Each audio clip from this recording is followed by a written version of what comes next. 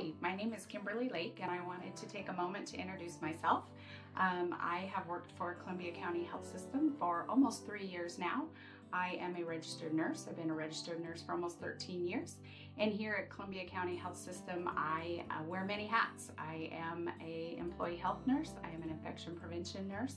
I am also the director of our CNA and uh, medical assistant registered program. The opportunities that I've had here are unique and diverse. I've had many roles, which helps me to grow personally and professionally.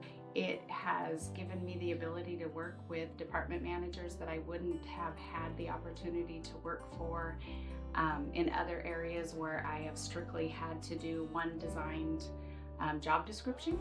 CCHS has been instrumental in my growth. Uh, it's given me challenges and been able to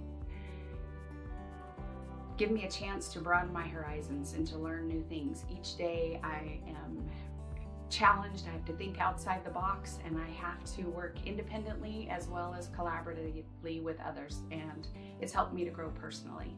Recently I've had the opportunity to witness a um, our staff in um, the middle of performing a, an emergency code.